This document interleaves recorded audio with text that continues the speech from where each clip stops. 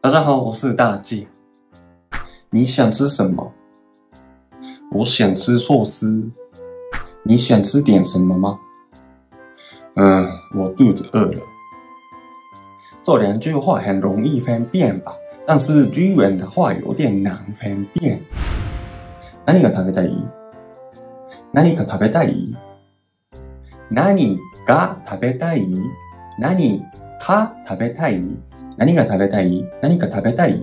嗯，差别只有一个字而已，而且か跟が对日文学习者来说很难分辨。今天跟我一起分清楚这个说法吧。何が食べたい？一定是疑问句，所以句尾音调要高一点。何が食べたい？何が食べたい？ 嗯，在生活上很常用的日文。何が食べたい是肯定句和疑问句都可以。何が食べたい？何が食べたい？嗯，所以句尾音调不一样。何が食べたい？何が食べたい？何が食べたい？的话，主词是我，就是我想吃点什么。何か食べたい 是疑问句，所以主词是你，就是你想吃点什么吗？日本人常常省略说主词，所以会很容易搞混。あなたは何が食べたい？あなたは何か食べたい？私は何か食べたい？三个意思不一样。敬语的话，何が食べたいですか？何か食べたいですか？何か食べたいです。然后日本人喜欢把何か说成なんか，比较口语的说法。喉乾いた，なんか飲みたい。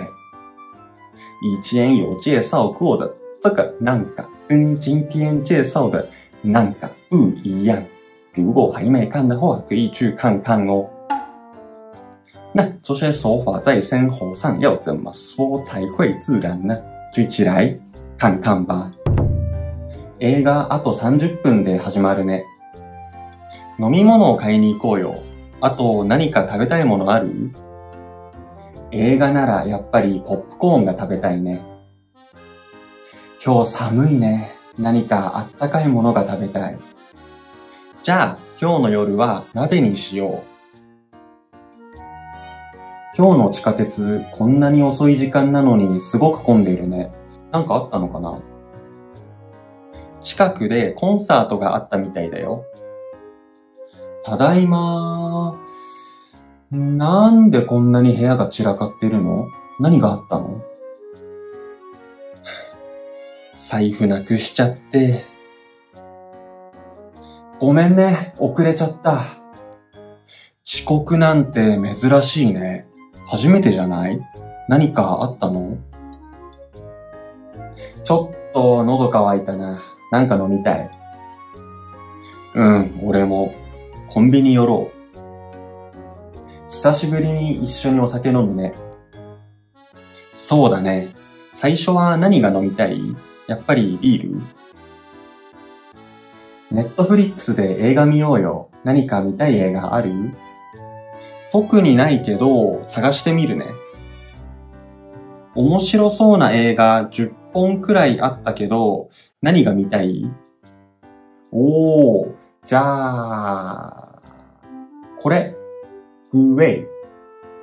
何が食べたい？何か食べたい？何か食べたい？何か食べたい？何か食べたい。何か食べたい。何か食べたい？何か、何か。何か、何か。何か食べたい？何が食べたい？何が食べたい？何か食べたい？大家也不妨说说看哦。那今天的影片就到这边。如果你喜欢我的影片的话，请按赞、分享、加订阅。下次见，拜拜。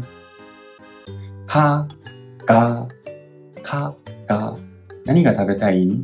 何か食べたい？嗯。很像，很多人说很难分辨，嗯，加油。